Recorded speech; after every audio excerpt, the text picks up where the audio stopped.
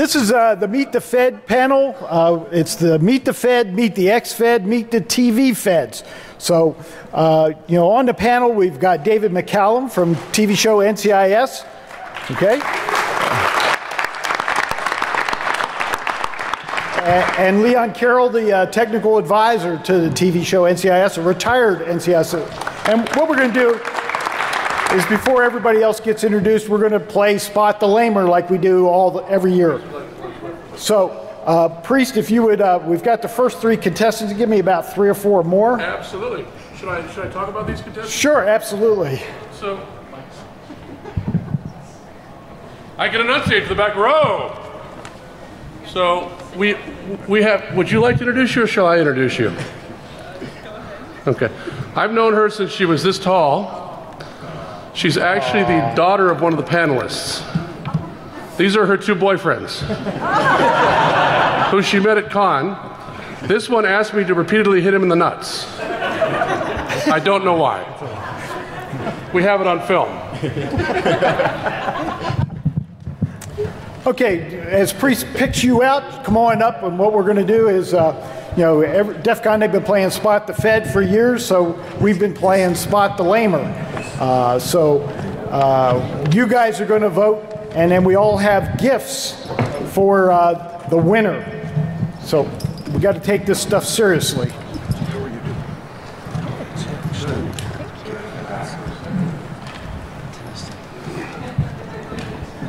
This crew is definitely uglier than the first crew you brought up here, Priest. We just have Except- to juggle this. Because this thing spins like a, uh, there's no way fixing it. I got it, I got it, I got it, I got it. Yes. One more? We good? Okay, got him. All right, that's good. All right, so uh, we're going to go down the line and ask questions. And uh, uh, so the first question that we're going to, I get the first one. uh, what the- okay, we'll, we'll go, we'll stand, stay with the standard. Where do you store your porn? Dropbox. Dropbox. Okay, David, Where do your boyfriends store their porn? Dropbox. I'm, uh, do you keep it for him? Does your father know? He does now. Why are you turning red, Mark? Because I put it all on Dropbox. Is that where you store your Father daughter bonding, you know. father daughter bondage? What? my question is for the gentleman in the uh, Irish green on the end there. Have you ever bragged about the speed of your processor and the size of your RAM? Yes. Would Can you, you care to elaborate? elaborate on that? Yeah. She's, she's looking for another boyfriend. Well, it is proof that if you do this too much, you go blind. For number three, right here. So, have you ever bought virtual things with real money? Uh, only with bitcoins. He can tell you about his 23rd level paladin if you'd like. My question is for the young lady standing right in front of me. Do you spend more hours using your computer, your iPad, or your gaming console? If the computer is the gaming console, does that count? If it, it If the computer is the gaming console, does that count? doesn't count. Doesn't count. Uh, computer. All right. That was pretty boring. There's no such thing as a girl gamer. It's a myth. Marcus. I'll, uh, I'll leave her boyfriends alone. You, sir. On the uh, Big Bang Theory, Don't be picking on the Big Bang Theory. one thing shows up in the opening scene of every episode. What is that one thing? The atom. Nope. How about Penny's boobs? Wait, wait a minute, what? Do you have like special access or something? Okay, I'm gonna have to just slow down every time now. We're gonna have frame by frame. Frame by frame. Didn't drop Okay, right down here. In the movie War Games, when Broderick hacked the uh, school's computer, what was the password? I- Pencil? Pencil. Good. I think you had help. She's a little young for that, by the way. I was this tall. And how wide were you? When you were born. About as wide as you are. And a lot wider. Jerry. Don't tease, dear. She asked me if I wanted to play a game. I'll, I'll take the guy with the hat down here. The guy with the hat on crooked. Battlefield 3 or Call of Duty? That would be you, sir. Don't look stupid. You know what? Do I have to pick? I like both. Remember, her father's up there, so look smart. Um, the one, uh, Call of Duty, zombies. You say that like a question, sir. You're not winning points. Lips are pursed. You know, he worked for the president. I, uh, what? The response was, I, uh, what?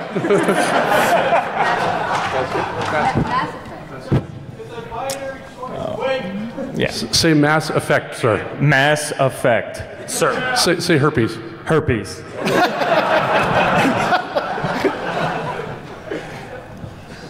Okay, I'm going to go with uh, Jolly Green here. No, I'm Jolly Green. Oh, s- sorry. Do you void warranties? Yes. Regularly. Mischel. I'll go with contestant number two. God, Space Girl, you're getting off easy. Which of the following are your favorite foods? Your mother's meatloaf, Taco Bell, brownies made by priest.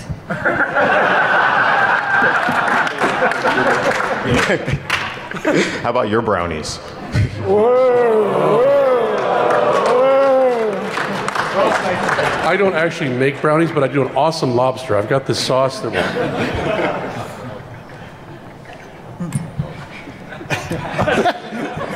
Priest, priest, you. Oh, no, you, it's really good. priest, you pick one. I pick one? Yeah, I pick one. This is an ecumenical question. It'll apply to everyone. Hmm. How about the dude in the wife beater shirt? The Oh, there are two dudes in the white beater shirts. The one who's who, the one who's trying to hide from me, bobbing his head. This one right here? Yeah, that one. He's dancing, I guess. See, it's just super tight. That's He can see what's underneath. What he's gonna say, he sees what's underneath.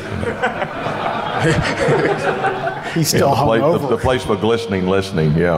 Um, what is your definition or your explanation of doing a do? doing If a someone do. invites you to do a do, what does that mean? Not do a dude, sir. You're safe. Do a do. do the do. do the do. Uh, slamming back Mountain Dew followed by tons and tons of alcohol. You are such a lightweight. It's all about the Jolt Cola, man. What's the matter with you? Somebody gave him that answer, I'm sure. No, sir, I did not.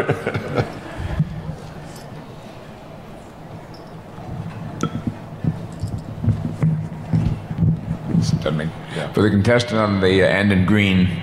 they love you for some reason. Because I'm old like them. I'm old like them, that's why. In that case, do you believe that Area 51 exists? And if so, where are areas 1 to 50? As your attorney, do not answer. Don't answer that question. There's a helicopter on the roof. well, they're all out there in the Nellis facility, so yes, they do all exist. Pass the microphone down, please. You have some guys in red shirts to come get him? We- We'll take care of it. We promise no extreme renditions unless absolutely necessary, and you deserve it. So the gentleman in the black T-shirt here, towards the end, right there. So, have you viewed more videos on YouTube or RedTube?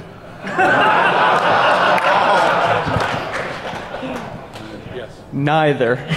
Ah. Create my own.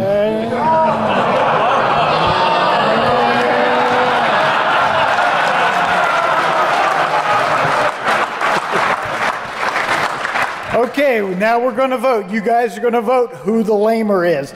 Contestant number one. Let me try that again. Contest. Oh my God. Contestant number one. Okay, you Y'all can have a seat. suck ups. Oh, boy, you failed miserably. Contestant number two. All right, you, you, contestant number three. Contestant number two, you can sit down. Contestant number four.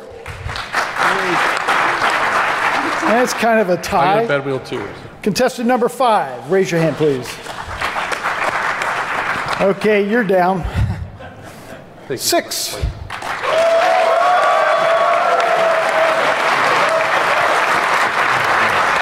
All right, you guys are out here.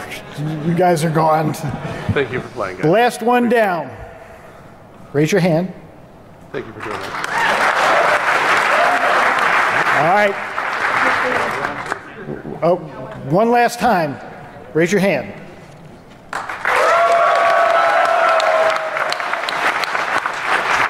Last guy down. All right, you can sit down. We have a winner. Come on up here. We, we have the we have the coveted Meet the Fed T-shirt. We have a uh, DoD Cybercrime Response Team T-shirt. Look at the camera.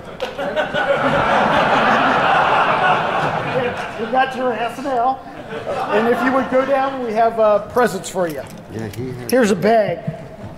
So we've got an NSA mouse pad and a really cool NSA translucent cup. You can't even see the microphone in it.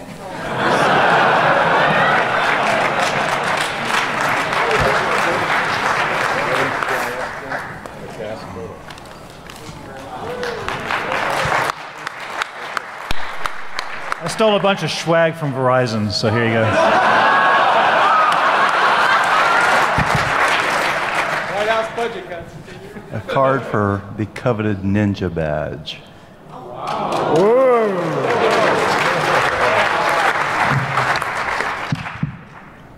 Have a mint. Give up the light. No way. X. Have a bottle opener. Brownie. Phone number. Five one five one two one two. This is a very specially designed and coveted old-fashioned glass. I assume you're old enough to drink whiskey, not just light beer anymore. Uh, this is etched. It's a collector's item. It's uh, heirloom. I'm one, sure it's one that you want to pass on to your children. And because it's from NSA, you'll never lose it.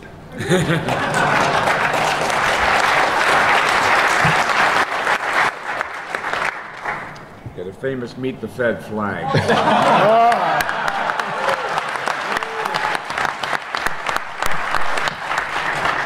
And a book of brain ticklers. for. All right. We also we have a special surprise. We have we have a free vacation and the, the other dude uh, I love that. a trip for two. All right, what we're going to do now is we're going to let the uh, panelists introduce themselves, tell you what they do for a living or not, and uh, and then we're going to open it up for questions. So line up for the questions. David. It's always difficult when half the audience has already heard everything you've said once, but um, I've been with NCS, uh, NCIS now for nine years, the television program, not the real guys, but I've also had a lot of time with the real people down in Washington, with Director Clookie and his wife Mona, and seen everything that the real NCIS does. And as part of that, I've met with Jim here, who I thank profusely for inviting me here today. But at the same time, I also had the pleasure of going down to Atlanta and going to the Cybercrime Conference. And I, I carry my little notebook because uh, we have a bunch of writers back in Valencia. And they're very, very, very good. And I try so hard to keep everything that I do, particularly in autopsy, to be as real and as accurate as possible. So I spend a great deal of time now um, making notes, taking them back, sitting down, being with the writers. This year I was on the Carrier Wasp. I was given an entire tour by Admiral Skolansky. Uh, I've been aboard the Reagan and met the, the, the, skipper back then. I've just done so much with the Navy and the Marine Corps. My wife here is on the board of the Marine Corps Scholarship Foundation, and they've raised, raised $70 million to send the kids of Marines to college, which is quite amazing.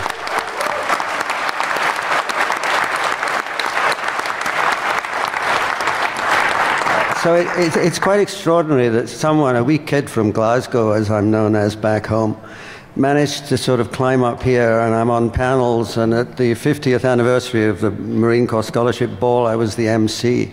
I never dreamt in my life that I would do things like that. But it is such a pleasure to have that involvement. And as I said earlier, to be able to give something back, because I get so much from my life right now. Thank you.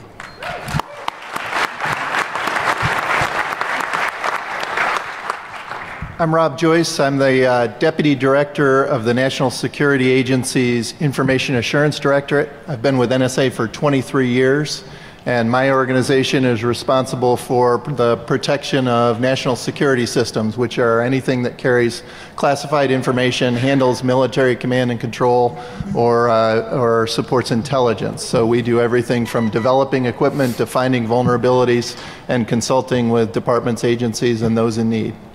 Thanks.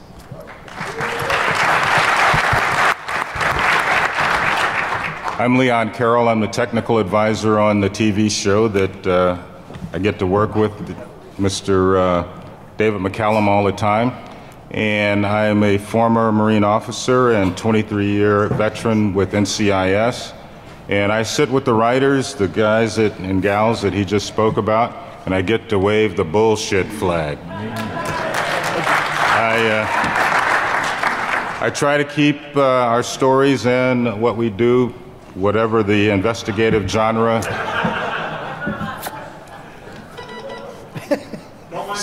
yeah. He, he's, he's from Scotland. Woo. Scotch.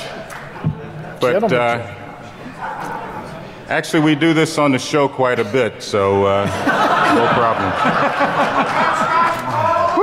Uh, actually, every, every year we have a great tequila bar just before Christmas, and uh, there are a lot of people after we say wrap that stick around and uh, eat tacos and drink tequila shots. Anyway, it's my pleasure to be here. I thank Jim for inviting both David and I representing the show. I work with a great cast, and we have a bunch of great people in our crew, and thank goodness we're the number one drama on TV. Yeah.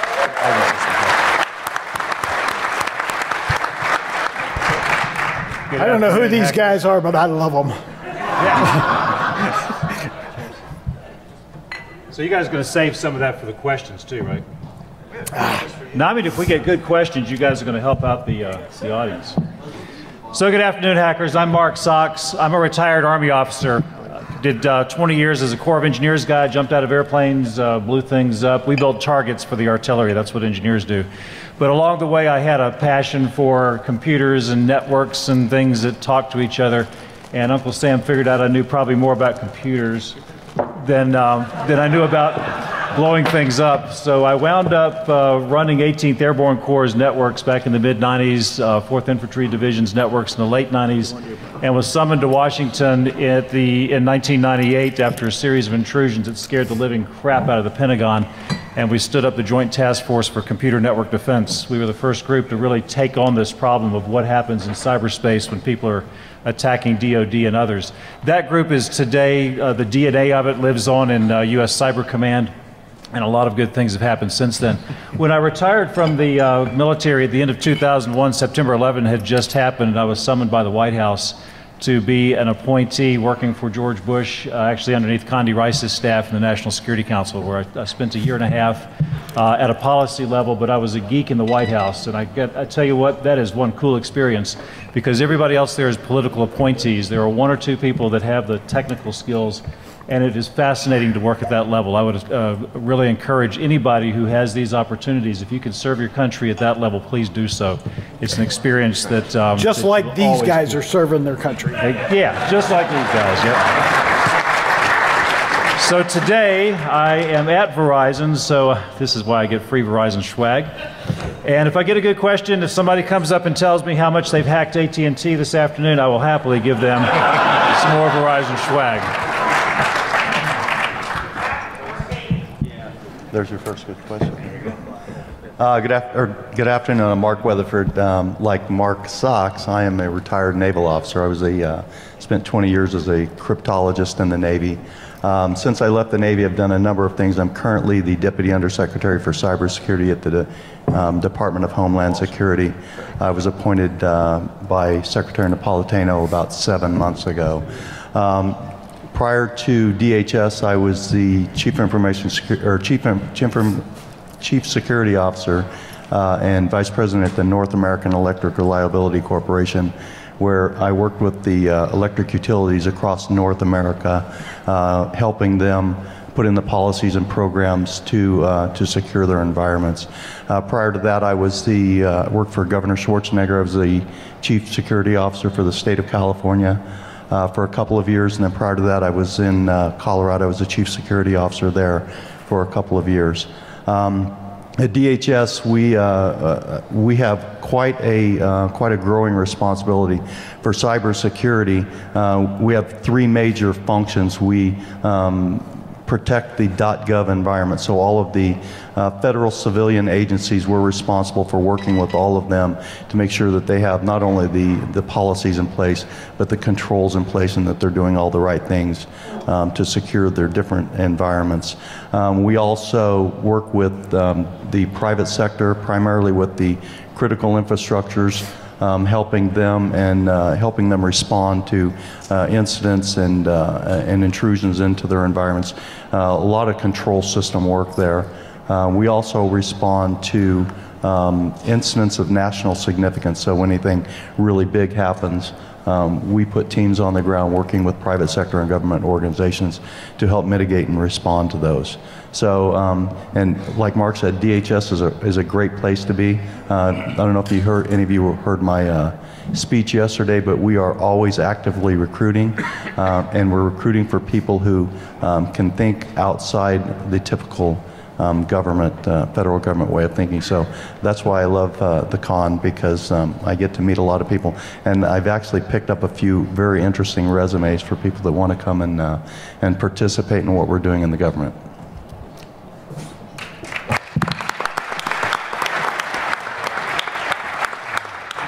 Good afternoon. So first off, uh, you know, I'd like to recognize uh, any uh, fellow combat veterans or veterans if you just stand up real quick if we have any veterans out there. All right. Thank, thank you for serving.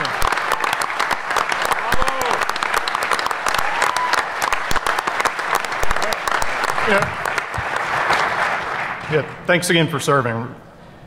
Name's Jerry Dixon. I was uh, the former director of the National Cybersecurity Division at uh, DHS, uh, ran US CERT, worked at uh, somebody's, everybody's favorite agency, the IRS. I ran the incident response team there. But uh, prior to that, I ran uh, security for Marriott International. And so, you know, now I'm with a group called Team Cymru, a not-for-profit uh, security research group. If you get a chance, yeah, go, go out to the, uh, you know, Cymru website. There's uh, tools that we give back to the community. Spell it. Uh, C-Y-M-R-U. So uh, if, if you're not familiar with it. But uh, we have tools like the malware hash tool. We provide a lot of things. We try to give back to the uh, internet community at large. We also have a group called Dragon Research that we're always looking for uh, researchers to help out, uh, basically being able to take a look at our insight and, and basically find other ways to develop tools to uh, help a lot of different organizations. Thank you.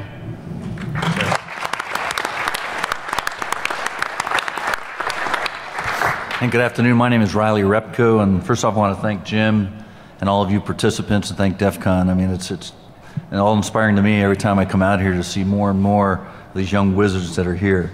Um, I recently left a, uh, an executive position at the Department of the Air Force, NOSD. Uh, what an opportunity of being able to serve with some of the finest 18th century minds around. All right, I uh, came from the private sector. My role there was to kind of build the bridge between our needs and your solutions. You know, kind of identify the seekers and the solvers. And as uh, Mike Hayden, you know, former director of the Central Intelligence Agency and NSA used to say, he said, God made the four natural domains air, land, space, and sea. Man made the cyber domain. God has done a better job. But um, I'm delighted to be here and look forward to answering any questions you may have.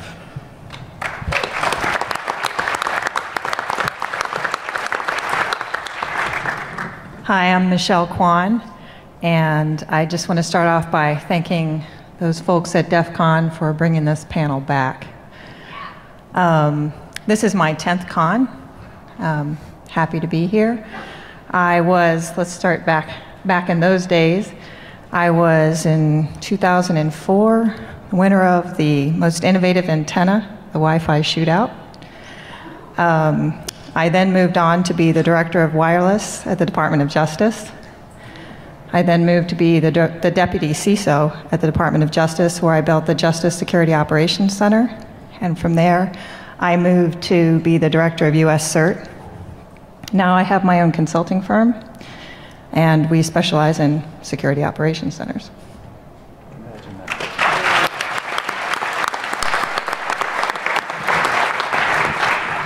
I'm Rich Marshall. I feel like a, a badger at an AKC registered uh, dog show with everybody that's so, so bright on the panel. Uh, I'm a lawyer by training, and I'm very proud of the fact that I do information warfare law. Uh, I've had a checkered past. I got involved in electronics in a, the Southeast Asian War Games in an F 105 where we were chum waiting for the missiles to come up at us so we could take them out and protect the rest of the aircraft that came in. We were uh, first in, last out. And I learned early on how important electronic warfare could be because you've got your life on the line. Uh, I later became uh, a lawyer in the Air Force and uh, had a successful career there. And then I moved on to the National Security Agency, where I was the Associate General Counsel for Information uh, Assurance. Uh, worked for four different uh, gentlemen who happened to lead that lead in that particular position. My proudest accomplishment when I was in that position uh, was being the legal architect for Eligible Receiver 97 because that demonstrated to the national leadership that information warfare was real. It also gave me an opportunity to learn a couple of very important leadership lessons.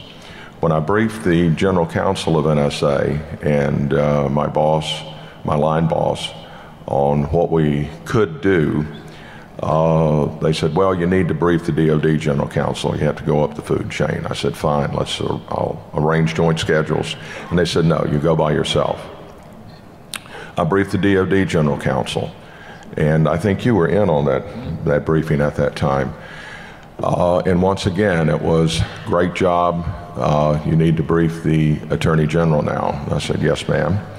Uh, I'll arrange our schedules. And she said, No, you go by yourself. The life lesson there is whenever you're doing anything uh, without a safety net, you always go by yourself because then they have plausible deniability. but ER 97 was so successful, uh, and like any successful venture, it has a thousand fathers. A failure is born illegitimate. Uh, but that was an absolutely uh, awesome experience.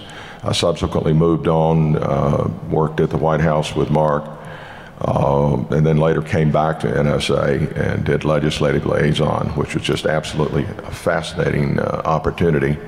And then I subsequently had an opportunity to go down to the Department of Homeland Security, where I was the Director of Global Cybersecurity Management, another fascinating opportunity. And I retired from NSA on the 15th of December which was a Friday. And then the following Monday, I moved to a startup that lasted three and a half months. Uh, I'm suing them. Part of my DNA. Uh, and now, like Mischel, I uh, run a consulting company and uh, really enjoy what I'm doing. And I'm just very happy to be here. This is my 11th one.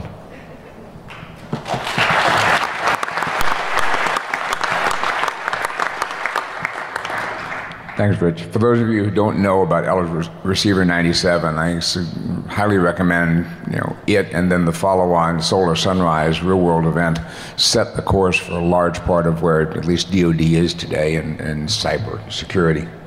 Uh, my name is Lin Wells. Uh, I'm career Navy. Uh, I then spent uh, 16 years in the Office of Secretary of Defense, including a couple of years as DoD uh, Chief Information Officer. Uh, some years ago, I was a speaker here at DEF CON. I've now been promoted. I'm a goon. And so things are looking up.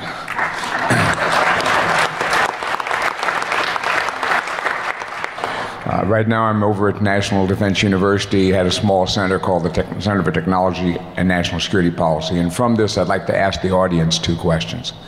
Uh, we did a conference about a year ago on the trajectory of revolutions, looking at the Arab Spring and how are things going to work out. And one of the most articulate spokespeople in the conference was a White House producer for Al Jazeera English, and she was 26 and talked about how Al Jazeera used Facebook and uh, Twitter and blogosphere and other social media to alert the correspondents to the emerging issues. Uh, and so um, at the end of the conference, I said, um, What's the next big thing? And her answer at 26 was, I'm too old. Ask the young people. So, but there are a lot of you young people out here, and part of the problem is we have is usually in our conferences I ask how many people are under 35 and get single-digit hands. So the, one of the great values for us, for me at least, of coming here is to get your opinions, and I'd really value your thoughts on what the you know how five years from now you would vector people to better sources of information. The last point is that. um, we're working with DARPA on a project called Social Media and Strategic Communication. And one of the things that my center's been asked to do is look at the risk posed by social media. And not just to leak the wrong stuff, but that are we raising a generation that thinks in 140 character sound bites? And uh, you know, how do you put checks and balances into a governance system where the velocity of information is so enormous? Again, if any of you are interested in working on that, I would love to talk to you. So I'd just like to close by saying last month I had the privilege of beginning my 49th consecutive year with DoD. And every morning I wake up and say, wow, what really interesting thing is going to happen today. And if any of you are interested in careers of government, I cannot commend it to you hardly enough. Thanks.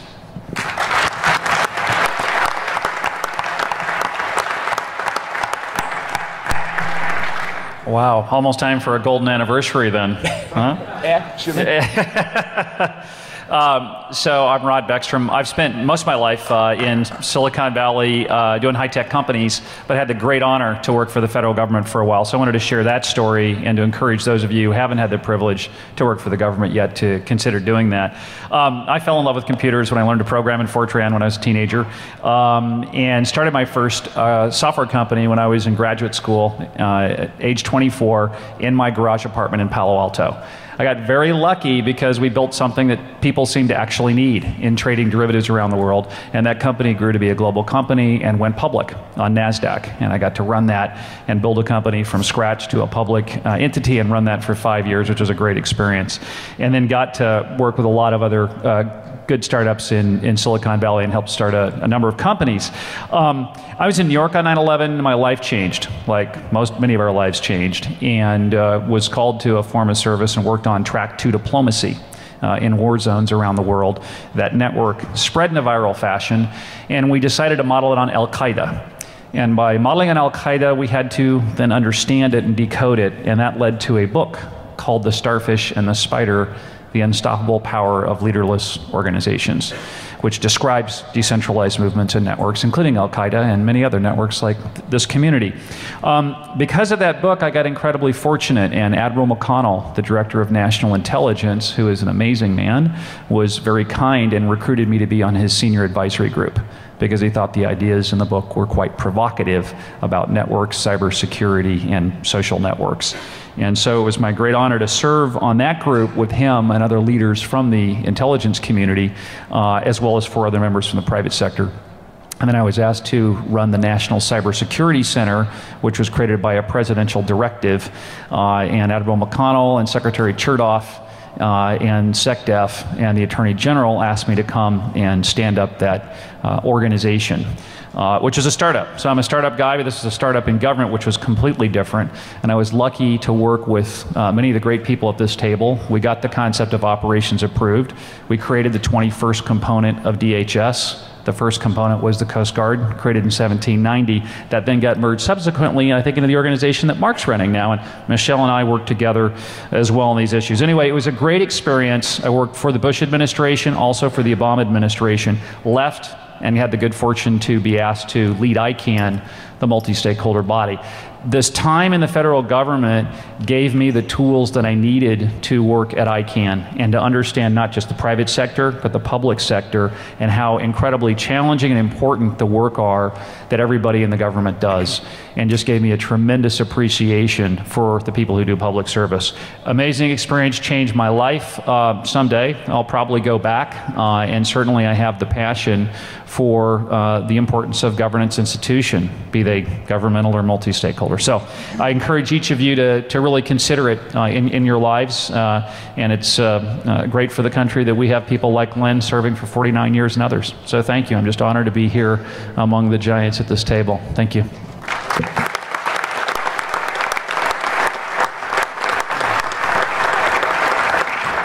I'm Jim Christy. I'm with the uh, Department of Defense Cyber Crime Center. Uh, just want to talk a little bit about what we do we have uh, one of our uh, business areas is we have the world's largest accredited digital forensics lab. So we have about 110 digital forensic examiners uh, working all kinds of cases from terrorism, espionage, child pornography, uh, fraud, you know, you name the homicides, you name it. Uh, we also have a uh, training academy where we train all the criminal and counterintelligence investigators in the Department of Defense on how to conduct a cybercrime investigation and how to do digital forensics. Uh, there's several other business areas. One of, one of the uh, initiatives that we have is the Center for Digital Forensics Academic Excellence. Uh, the problem we have is we can't find qualified people that can pass our tests so that they can work on digital forensics on real live criminal cases. So what we've done is created a partnership with academia to create standards for digital forensic examiners. And uh, uh, that we're in a pilot phase right now with about nine two, four-year, and graduate level universities. And we're opening it up to other universities, everybody else, uh, come September. Another initiative we have is the DC3 Digital Forensics Challenge. So anybody out there taking the challenge? All right. What, right now, we have about 945 teams from 51 countries participating. And uh, I would encourage you to get either yourself or your staff or your kids involved in, uh, uh, in participating in digital forensics because we need good people in the government. Uh, and uh, we're always hiring. Uh, one of the other things that we have is the Digital Crime Scene Challenge. And what we did was we brought for DEF CON kids, we have three uh, suites set up upstairs, and uh, all the DEF CON kids are scheduled to go through and process a digital crime scene in three in 15 minutes and, and come up with the evidence. So kind of kind of fun. So if you get a chance, if you have kids here, uh, uh bring them through. Another initiative is an online self-assessment on cybercrime investigations and uh, digital forensics. So if you uh, go to our website, dc3.mil, and all the links are, are, are there. Uh, take the self assessment, tell us what you think. If you guys, I would really love to get questions for you guys to add to our self assessment, so to make it a little more difficult. So uh, at that point, uh, I want to thank our, our, our panel, and now we're going to open it up to questions from the floor.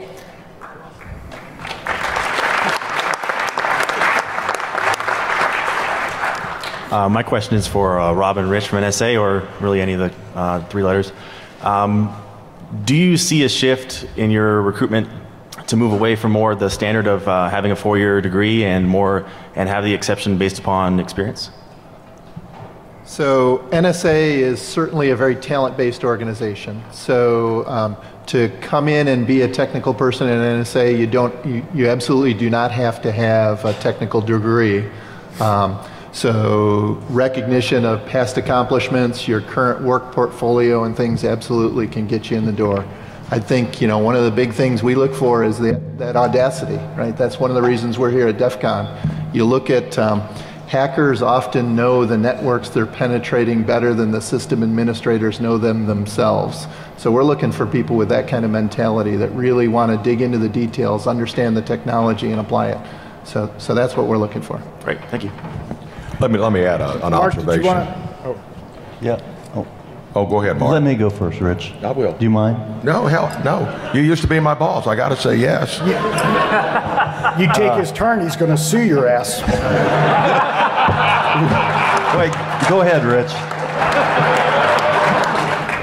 Uh, no, I, I, that, that is absolutely right, you know, and, and I talked about this a little bit yesterday in my uh, remarks. I, I know that there's a perception, and, and we talk a lot about um, the different programs that we have uh, that we're supporting at, at the universities and colleges around the country, but, you know, some of the smartest people I know do not have a college degree. Some of the smartest people that are working for us right now, and some of the smartest people that I had working for me in the private sector. And I think we as the government, and, and, and I can, it's a little bit of a challenge sometimes for us, but we have to encourage better that, that you can have that equivalent experience without a four-year degree.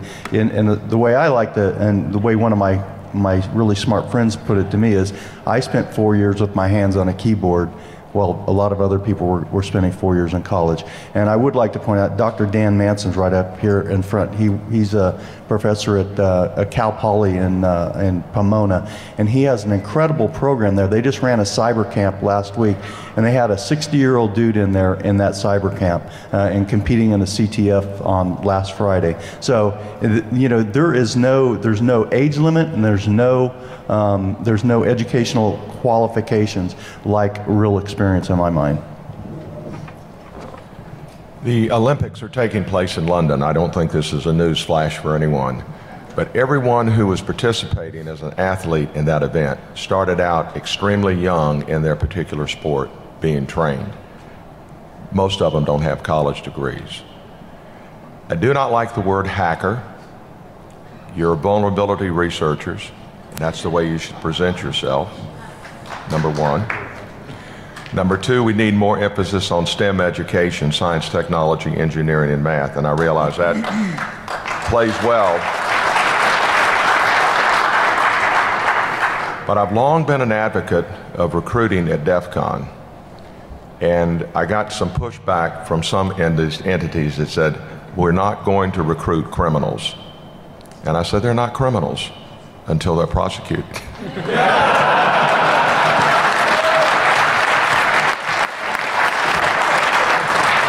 So give them an opportunity to get out of their mother's basement and, and earn a living. One, oth- one, one, don't, don't sit down yet. One, one other comment. Vulnerability researchers, in my mind, are today's artists. When you look at the great painters in the past, none of them had a college degree. They learned it themselves through experimentation. And that's what vulnerability researchers are known to do. So view yourself as an artist.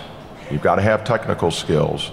Those painters developed their technical skills as well, but they had a fascinating imagination. And in their mind's eye, they were able to create art. So as you're doing your vulnerability research, make some great art.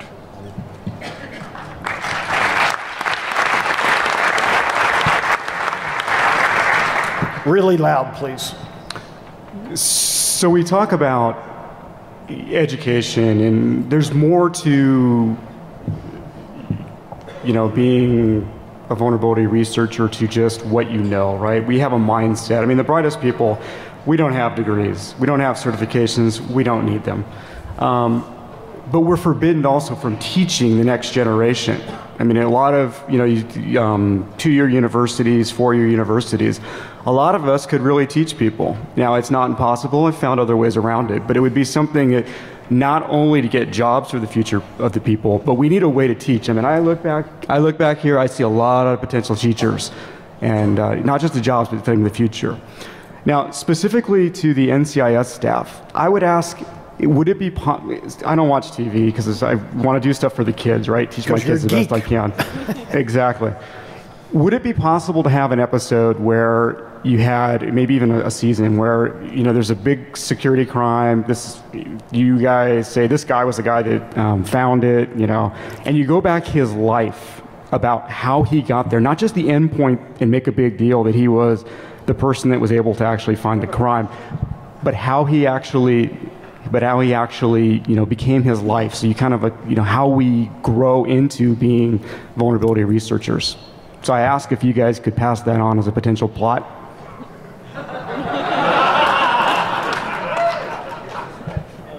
The writers are very much open to suggestions, and I try to take things back to them. Um, what you're really saying is the background to a, something that's already happened, which is always the hardest thing for them to do because either you do it in a flashback or else some people talk about it, neither of which is instant, neither of which is really very exciting on television. But it is something you when you say the background, you mean I mean, I'm much more fascinated about what you're saying when you say that you can't teach because you don't have university degrees, therefore you don't have your, what we call in England, the diploma of education and everything. Well, it goes to a point that people have problems. There are people that are hackers, they don't, or vulnerability researchers, they don't even know that they're doing it, right? You know kids that know stuff and can do stuff on computers that nobody can do. But they don't have any role models they can base off of, right? It's very, very hard. There's no way to measure yourself versus what you know versus what you don't know. We need sports athletes and stuff. We broadcast that shit all over the place, right? They know if they want to be an athlete. We don't have a way for them to say, you know what? You're doing the right kind of stuff. You just don't know it. it it's something that we need some kind of role model in, in maybe a program or something that shows not only the endpoint that they, they fixed a crime or something, but so they can identify with who they are. Well, it's definitely an episode that involves McGee, who is our computer vulnerability investigator. So I think that it's an idea that I can definitely and will put to the writers. Thank you.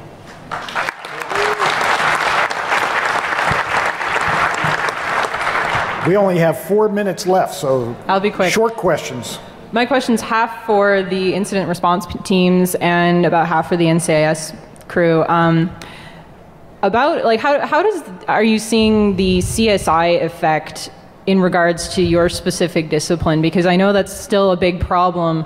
And for the incident response people, is that something that's being mitigated with education? And then for the for NCIS, is that something that you guys, you know, you do try and handle realistically on the show? Do you deal with it? Do you have to like shoot down ideas by just saying, okay, that's just the CSI effect?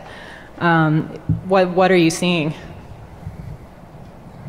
Really quick, uh, I was uh, on jury duty when the show first started, and the attorneys and the judge made a point of instructing the jury that what they would hear in that courtroom would not replicate anything that's done on a, on a one hour TV show, 43 minutes.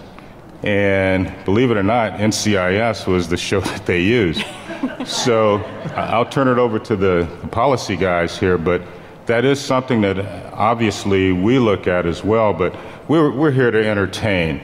And so in 43 minutes of film or whatever, you know, we're going to show, you know, a lot of things that are abbreviated.